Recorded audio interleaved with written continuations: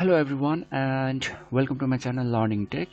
So today we'll be discussing about how to create table of contents uh, within a few clicks or few steps. Okay it's very easier to create table of contents automatically uh, instead instead of doing manually. So let's move ahead.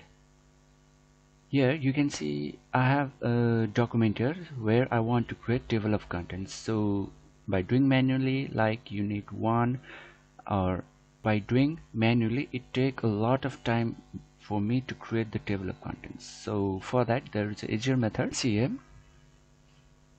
here is you can see the heading 1 and heading 2 so if you want so if it is okay within heading 2 uh, that's okay. But if you want more than heading 2 then we must make some few changes. For that good here you can see here the small button click on that. Then you can just see here styles. So go to manage styles. Click on manage styles. Then you can see here go to recommended. Then and just click here heading 2 then make click on show. Then similarly click on heading 3 then click on show. Then click on ok now you can see heading 1 2 and heading 3 now you can be seeing here. Okay so let's create the table of contents. So just select or put the cursor on the sentence that you want to make the heading. So for in this case I want the concept of human resource and human resource development as a heading one here. Let me just click here.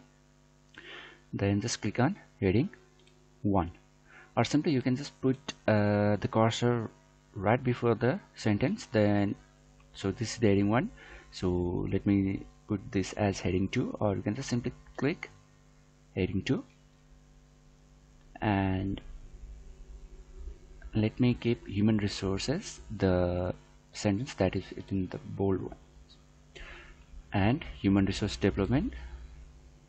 Let me keep same as uh, heading 2 here. Then definition of HRD and let me keep this as heading 1 this is just for an example. And historical development of HRD let me give this as 2 heading 1 then just let's go down. Then foundation of disciplines for the study of HRD let me give this as heading 2 then features of HRD let me give this as heading 2 then you can see scope of health resource development let me give this as heading 2 here then specifically activities included are uh, let me just keep this as heading 3 okay after this uh, we can create the table of contents at once. So let me just uh, create a new page here. Okay let's let me just create the table of contents at this page. So for that so before creating keep in mind that it is very necessary for us to mention or give the name as heading 1 heading 2 as we want. So then just click on here references as you can see here. Click on references. Then you can see a table of contents here right? You can see a table of contents. Click on table of contents. Then you can see here built-in like automatic table number one table number two or manually you can edit more of the options. So for now just let me click on automatic table. One here then you can just see here. With page numbers. You can just see here no need to change anything. Automatically this will create at once. So you can just edit as you want. Let me just type here. Table of contents. Right okay. So this is the way to create the table of contents so and if you make any changes regarding in your article or in your document uh, right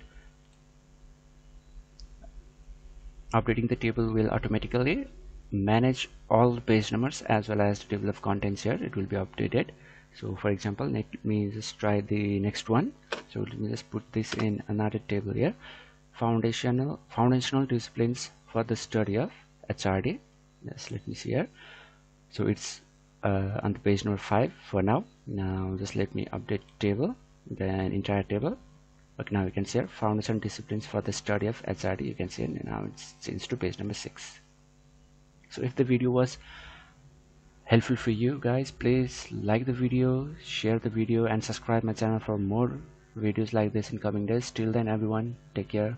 Thank you